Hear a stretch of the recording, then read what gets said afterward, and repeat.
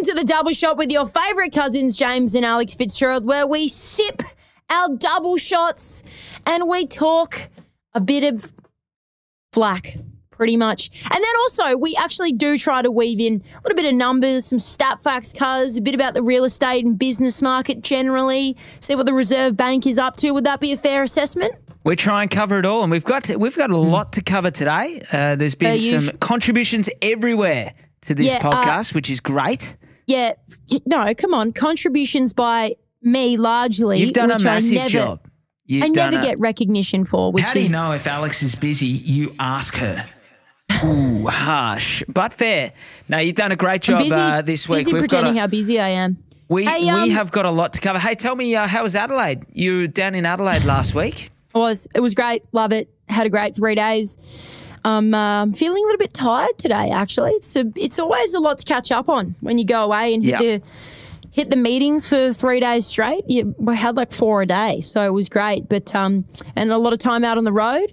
Walked some dirt, you know, rub it between the old fingers, and uh, and then that's how I decide if we if we proceed or not. Oh, nice. Soil test. What do the you- Alex the soil Alex test. kind. The Alex type of soil Yeah. test. Feels like a H class. Smells smells fruity. Hey, and uh, and and tell me, um, it, it's getting a bit cooler down there. I'm heading down this week. Gonna go watch the Saints play on Saturday. Uh, albeit I'm, I'm watching it at an indoor football stadium, so I'm not not too worried about the weather. But uh, You'll still be cold. It's Yeah? seven degrees here, Kazi. You're going to need more than that vest, bud. You're to need more than a vest. Speaking of which, you gave the vest a big rap two weeks ago, and then I pop onto Instagram as I do after hours, just sort of like catch up on the day. And your lovely wife Hannah is boasting about vest weather, and I'm Yep. thinking, you know, these two are just painfully similar, painfully so. what can I So, say? Han, yes, you've got the Kathmandu vest out. Uh, I actually saw James in a vest that was a little bit too small for him a few weeks ago, so I figured he might have accidentally dusted yours off before he dusted off his own. Wondering, Ah, it's like, that is a have you put on weight, Cuz, from, from last winter, or is, the, is that your wife's vest? Absolute fallacy. Oh my days! Hey, we don't Yeah. We don't talk about coffee enough, but we, we don't have time today. But Mm. I think next week we got to give coffee a little bit more of a wrap. have I just have I just uh, triggered you to take a bit of a sip there? Yeah, Yeah. I, I'm massively into pour over coffee at the moment, but not a discussion for today. We'll put that in next week because you and Mitch discussed and forecasted incorrectly, Mitch, interest Yes. rates last week. Yeah, Mitch. Mitch incorrectly forecast. And I did warn him at the time. I said, Hmm. mate, we're recording on Tuesday. This doesn't come out till Thursday. The RBA announcement comes out Tuesday, Arvo. Yeah. You, you, this could ver- date very poorly for you. And he forecast that interest rates would not move. And he's fairly adamant. I'm going to say he said it with a bit of gusto. Ooh, Um, he's a betting man, though. He is a betting man. Yeah, so he's a little bit worried that he might not get asked back onto the show should you or I not be available um, at, at the next occasion. I like to just keep him waiting. There you go, Schmitty. We'll just keep you in the guessing bay. But yes, the Reserve Bank did increase their interest rates, uh, the cash rate from 0.1 to 0.35. So uh, they call it 25 basis points, is what it was increased by. We all knew it was coming. We didn't know exactly when. Mitch definitely didn't know exactly when, uh, but it did finally happen. And, and it's been massive talk the last seven days, hasn't it? Huge. Yeah, and, and normally you get a fair bit out of their statement. The statement didn't give you as much as I think as uh, he, uh, Philip Lowe, the, the governor, had a press conference Yeah. on the Tuesday afternoon, which you could listen to on the radio. So I listened to that on the way home, and I found that was really um, probably the most Hey. insightful. He basically just said, "Hey, we're not in an emergency anymore, so we don't need emergency interest rates of zero point one percent." Uh, there's still lots of risks with you know Ukraine, China still doing lockdowns. We're not we're not there yet, um, but we can afford to increase rates a little bit. Uh, we've got some inflation. We now know that wages are growing. We've seen enough to suggest that wages are growing, so we're going to just gradually increase them. It's a good thing. It means the economy is recovering. Um, don't get too sort of caught up, you know, in terms of what's going to happen in a year or two's time. There's too much going on, but rates will go up because they had to. First interest rate increase in 10 years. In fact, it might have been since 2008, Is that I th- correct? I think it was 11 years. Yeah, 11 years is, is my understanding. So you know, I mean, there's a part of me that feels like we've we've had it pretty good going down in the last sort of ten years, particularly if you're a first home buyer or uh, like you and me, because uh, those sort of early stage investors who have managed to buy a few properties along the way and and still have their yields increase as interest rates sort of went down. But I think it's it's only good things for the economy, and there are so many different external factors. So of course, the Reserve Bank have got a lot to take in, but really, you and I aren't too worried. No, I mean, you know, the Reserve Bank have now increased the rate to 0.35%. It was 0.1. And the 10 year average in that time where interest rates haven't uh, gone up, the 10 year average is 1.6%. We're still 1.3% below the 10 year average. If you look over 30 years, it's, it's like 4%. So we're a mile off that. We could afford interest rates to go up by a percent. Um, you know, uh, even, even today, if you're trying to get a loan, you've got to show that you can service the debt if they went up by 3%. So there's so much conservatism baked into our lending system at the moment. I don't think it's going to have a big impact at all. Uh, it will impact our ability to borrow money, though, because um, that's probably the biggest risk that I see is that we might be going for a loan in 12 months' time and you Yep. might still have to service at 3% above the current rate, which could be 1% higher. In a, in a year's time, so it's just going to make it a little bit harder to get a loan. I think if you if you're in a position to do something today, uh, that would be a reason to, to do something. Is just that you never know what's around the corner in terms of your your borrowing capacity. That's exactly right. And look, I think it, it does still all come down to budgeting as well and just making sure you know exactly what's going on with your money. And I will transition there to a new app that I've learnt about. It's called Fudget. Budget. Huh? Play Fudget. on budget. Like a Basically, fake nifty. budget. Like a, did you say face budget? A fake budget. I thought you were going for like Facebook, Oh no, but it's, but it's, but it's a fudget. So- social anyway. media budgeting. Wasn't Not sure wasn't sure where go. you were going with that one, but in any event, uh, nifty little budgeting app. So if you still don't really understand how the whole interest rate thing works and why you're not in danger, well, maybe listen to this podcast a little bit more. But also, you can do all of your budgeting. Now, two little things. One, you've got an awesome budgeting tool, cuz uh, on the Bulletproof Investing website that you put together yourself. Uh, hard slog putting that one together for the people, and that's also free. I understand. Or you can have a look at this budgeting app called Fudget on your phone. Basically, you can plug in all your ingoings, your outgoings. Really easy way to keep track of everything, and it will show you basically how, how to budget yourself. Um, and honestly, not a bad thing to do, even if um, you're not struggling or whatever. It's, it's always good money habits to know what's going on, you know, where your money is and, and stuff like that. So just thought I'd, I'd share that with the people because I did learn about it last week, and I thought I downloaded it, checked it out. I quite like it. Cool. So what's it's just a budgeting app? Like what's the F mean in in budget? Fudge it, mate. Yeah, but why why why the why fudge it? What's the Oh. the reference to fudging or, or or the F? Maybe Is it free budget? Maybe. No, no, I, I don't know. Maybe, be, maybe because. Oh, fuck it. Let's do a budget. Surely not. NFI. This could Maybe be because you fudge your budget, like you fudge it. You, you lie, you're lying to yourself, so you fudge it.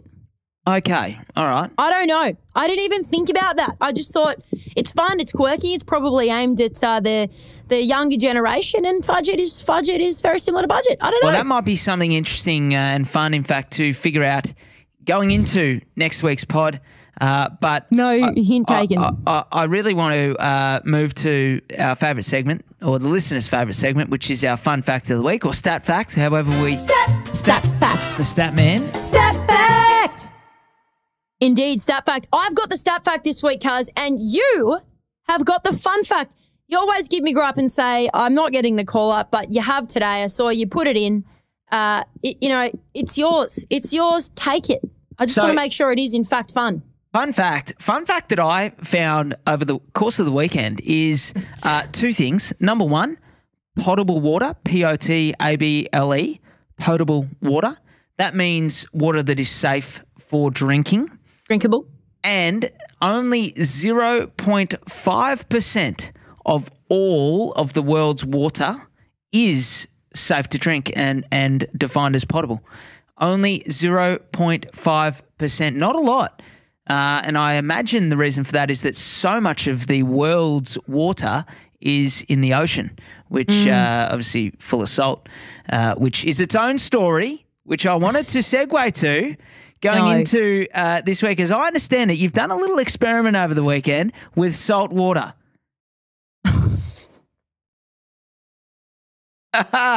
this is the fun part of my I fun don't have fact. any idea what you're talking about. no idea what you're talking about. Yeah, I drank a Oh. bunch of salt water and it, they called it a cleanse. Let's just leave it there. Okay, some form of natural laxative. All right. and it- Absolute stitch up. Are you freaking serious? But I can't, Can't say the F bomb, but you can sweat bring up me. Sunday cleanse. I, I tell you what, I'm I've led, got the stat fact. I've got the stat fact for this week. I'm led to believe that there's three three people in our company who have done that little uh, experiment over the I- weekend with salt I water. take- you you are one of them, as I I understand it. take my health very seriously, Kaz. You may binge on donuts, but I spend my Sundays doing cleanses. Drinking and we're going to leave water. it at there. We're going to What leave it there. up. Park your car, get out. We're leaving it here. Drinking non-potable water. Anyway, Stat uh, fact. carry All on. right, so stat fact survey done by financial comparison mob called Mozo, M O Z O. Never heard of them, but that's okay. Very interesting. Uh, they said uh, they did this survey uh, basically about people's loyalties, I suppose, to their, their banks, particularly the big four. 73% of people claim to have never changed banks. I've never, Never? changed banks. I've never changed banks either. And this is, we're talking about like your everyday account, what you get Wow. paid into. Like, where was your first bank account when you got your first job or when your parents opened up your first bank account? 62% of savings accounts are with those big four banks. Eh, Not really surprised. I also fit into that category. Do you? Uh, yeah, I do. Yeah, there you Yep. go. In fact, Uh, I've got two savings accounts, both with Big Four. Yep. There you go. Ah, see, where I'm exactly the same. Uh, so 55 uh, percent of people said their parents introduced them um, to the the big four. So pretty much same as me. There was like, all right, you're 13, you're getting a bank account uh, with your first job. Let's go down to to NAB. That's just who I've always uh, had my day to day stuff with. Um, 48 percent, it's be said because. That's where all their financial products are. So their home loan, their Yeah. personal loans is all with one bank. It's just much Yeah. easier, or it's because I know and like them. Maybe uh, there is this level of like relationship loyalty there. Um, and then the the balance said of twenty percent said that uh, their perception was the big four carried more security. So that's why they had.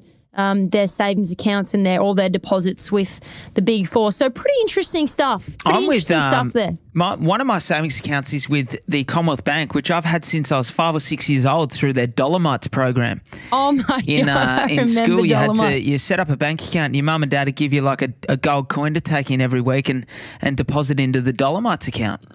so such a smart marketing exercise for CommBank, isn't it? I'm They've pretty still sure they're not allowed to do it. 31 years old. Good on them. Yeah. That's a 26 year relationship they formed with me as a five year old. I wonder how much sorta money they made out of you. Yeah, it sort of doesn't seem uh, all, all that, um, Kosher. yeah, kosher. anyway, it's, uh, There you go. So that you was go. my little stat fact for the week. If we want to outro that one, Nico. Stat fact.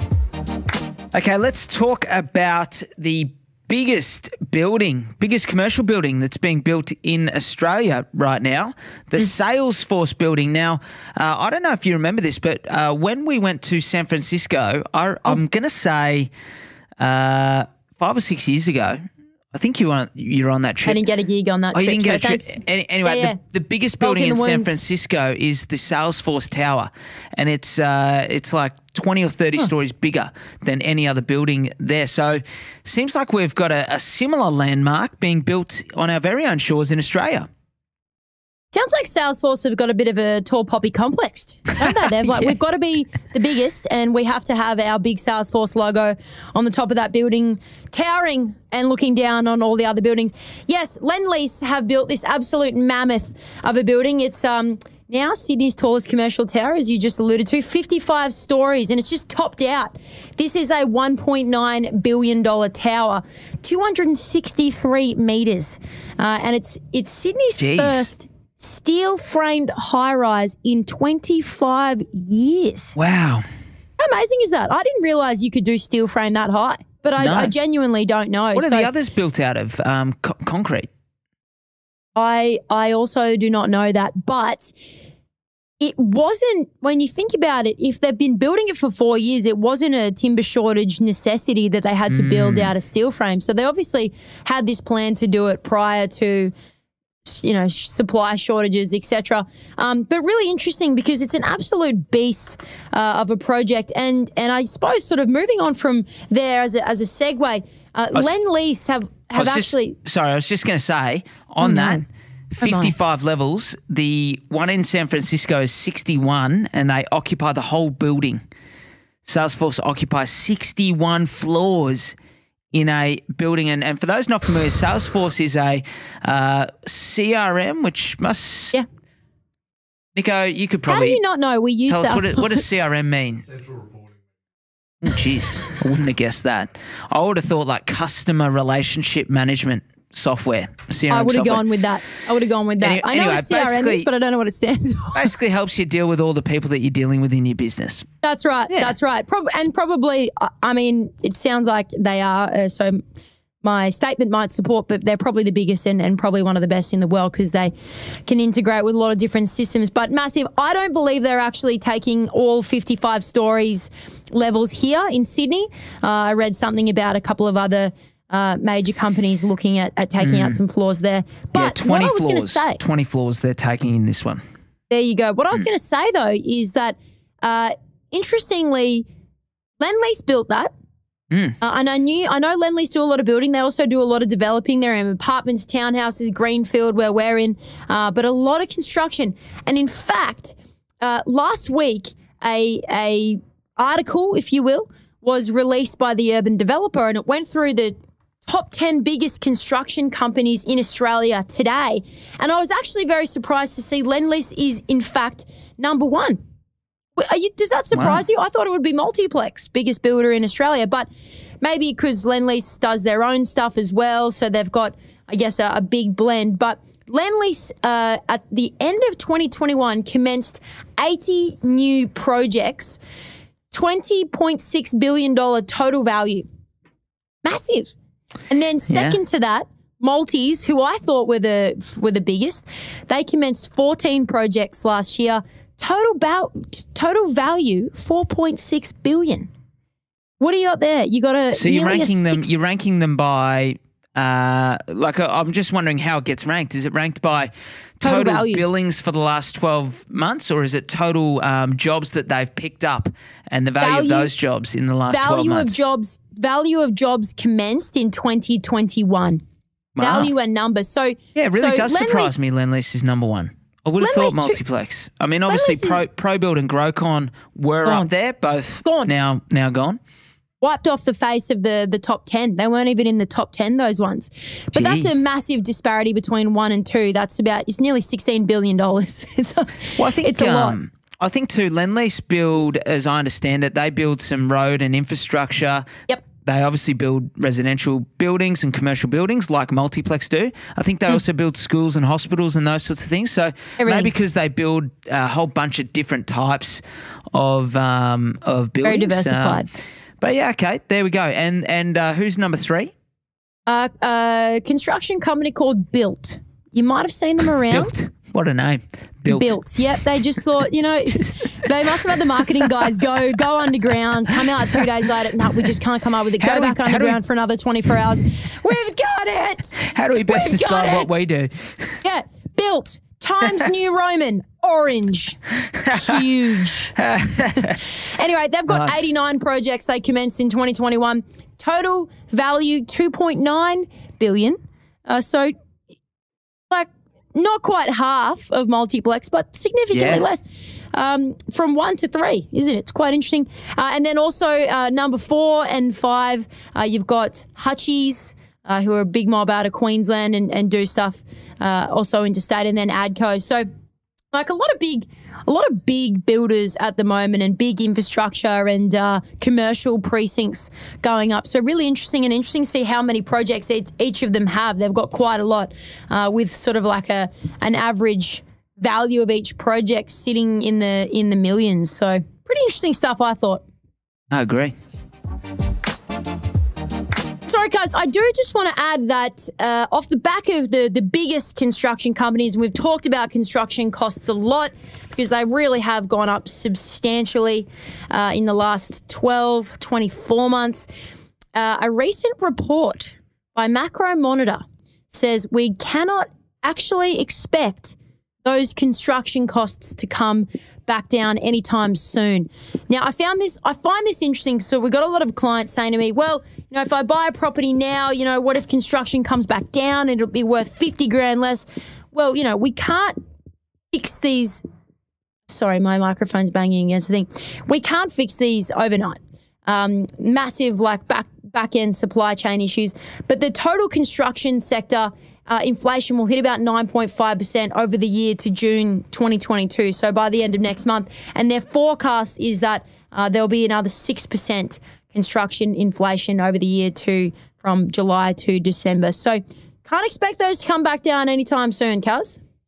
Yes, um, uh, Macro Monitor is the group who've done that report, and they are they're forecasting that some costs will come back, but there's still some uh, costs like uh, petrol, fuel, and um, mm. wages that are probably going to go up in the short term. So they're they're sort of forecasting that whilst the cost increases may subside a little bit, uh, we're probably like likely to see at best a flatlining of construction costs. So anyone who okay has been that. wondering that, you're right. I, I do get that a, a, bit as well.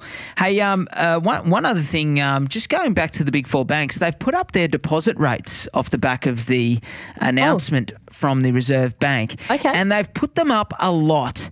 So I don't know if you pay much attention to putting cash in a bank and, and getting a return. It's probably a little bit too low risk for what you're doing, uh, and it certainly is for me too. Uh, but for 18 months, if you're willing to tie up somewhere between $5,000 and $2 million with the big four banks, they will pay you an interest rate today on your money of 2.25%, which they increased by 1.95% last week. Hey, I was going to say the average of the big four for the last 12 months has been like 0.23 of a percent interest you'll make on your mule. They just put it up to 2.25%, nearly 2 full percent, despite the RBA only putting uh, the cash rate up by 0.25%. Um, it says to me that the banks have been sitting on our dosh, making a little bit too much money off it for some Ooh. time now. And that would prove to be the case, or seem to be the case rather, because our big four banks, would you read about it, have made a combined profit combined of more than uh, $15 billion in the past 12 months. Zero surprises. Zero surprises. Cash Zero. rate's been 0.1 of a percent, and still, you're like, what's the, the average interest rate's been sort of like two to two and a half percent. Yep. And then think about that. You think about that. That's called margin. Hey, tell me which of the big four, if I was to say to you, uh, and this is uh, following Mitch and I did a little pop quiz for each other last week. I've been trying I to get you with one. absolutely adorable. So often. Uh, pop quiz for you. If you had to rank the big four banks, so you got CBA, ANZ, NAB, and Westpac, if you had to rank them by uh, size, where would you have them all sitting? Okay. Number one, Westpac. Yep. Number two, CommBank. Number three, NAB. Number four, ANZ. Okay. Uh, okay, so there's a couple of ways you can look at it. If you go, you can go by profit, or you can go by total, um, like money that they've got. Um, total money. I was going total money. T- total money. Well, well, CBA is number one, and by a fair way. Ah, I said bloody Westpac. You know, they both yeah. have the yellow branding. Actually, no, Westpac is now red, isn't it? Just forget I said then, that. Then, then, then, you've got then you've got Westpac, and then you've got NAB, and, and then ANZ. Oh, so okay, so the the one and two, I was just a little bit. Yes. But Yeah, I'm, a, I'm a colours and visual person, so the, it's the yellow and black that really is just is just set me off. oh, You know, righto, mate. it's just set me off. I'm not sure, but I know that NAB's three, red and black, Hey, number uh, four, ANZ blue. See, very visual person. It, it might surprise. It, yeah, exactly. hmm Uh, I it don't may believe surprise myself. you. It may surprise you to know that uh, NAB is more profitable than Westpac, even though they've got less money. So uh, There you go. It's not. It's not You- all about the money. It's you and I both. the, uh, you and I are both a customer of uh, NAB. Maybe they're making a bit too much money off us too. I'm refinancing after this call.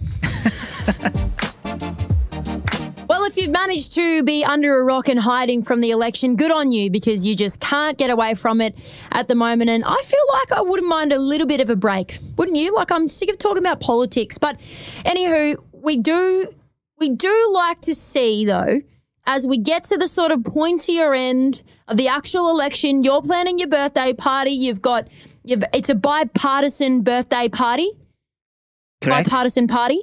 On election day, absolutely. On Yeah. election day, um, you have been paying a little bit of attention, cousin, fair enough. But particularly, uh, they've finally had a little bit of difference in some policy, and uh, you have found that to be in their uh, sort of like housing schemes or their first home buyer grants. Please do tell us more. Well, one thing I will say is that these are only ideas at this stage uh, on That's both true. sides of, of government. Um, Yep. But the Liberals who've got the new home guarantee that they're running at the moment, and we've talked about that in previous podcasts. Uh, long story short, you can borrow up to 95% uh, with the government guaranteeing the, the difference between the 80 and the 95. Uh, but you still got to take out the loan for 95%. You still got to make the repayments, um, but you just pay the, the 5% of your own money um, and then you pay the government back uh, at some point when you can refinance, etc. The Labor government, though, have come out with a different policy. Uh, it's called the Help to Buy. And it's different in the sense that what the government actually do is they're going to lend you, say, uh, the 15% instead. If I use the same example, uh, so rather than borrowing 95%, you're only going to borrow 80%. They're going to lend you the 15%. And what they're going to do instead is they're going to take a 15% interest in the value uplift of the property. So they'll get their 15% back, and then as the property grows in value, they'll take 15%. Uh, the rationale being that the Liberal government's policy is very good uh, for the past two, three years where you've had a very low interest rate environment, and the concern's been raising the deposit.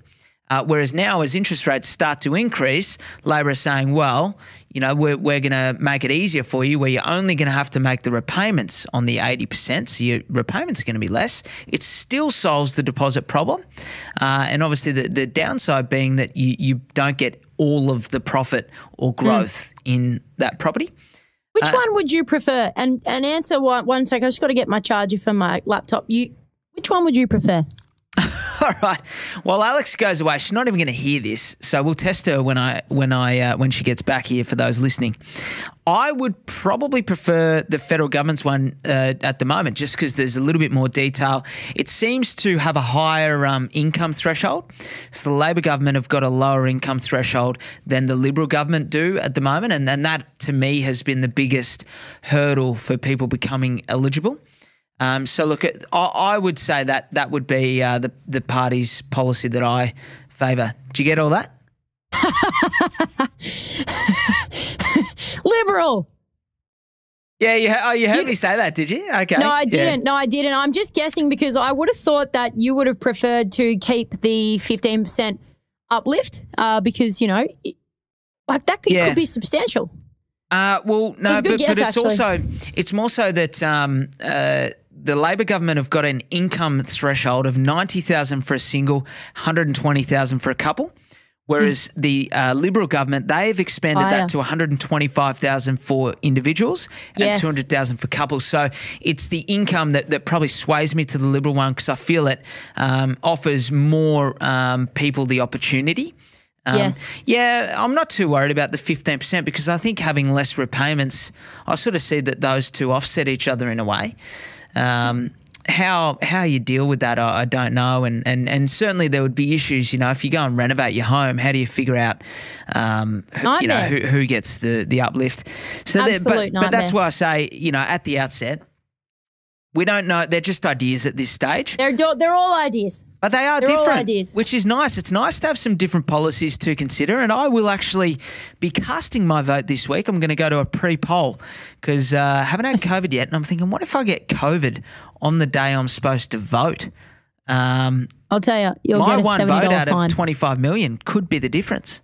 It's meant to be a very close election. And that's the right attitude to have cars. But seriously, we have indulged in this podcast. It's gone way too long. We have indulged beyond belief. So thank you so much for listening today, guys. Uh, we'll we'll still hit up James. Maybe we'll be able to get a, a bit of a uh, who who we voted for next week. Ooh, I doubt it, but we will try. We will try. I think you've got a lot of research you want to be doing overnight to uh, see where your vote's going to land. I know you're a bit of a swing voter, but if you like the podcast, please recommend us to your friends. Follow us on Instagram and uh, pop us a review, maybe, especially if it's nice, especially if it's good. Pop us a review. Any last closing points, Kazimoto? No. Good luck with uh, the non potable water cleanse this weekend. That's just, that's just a stitch up.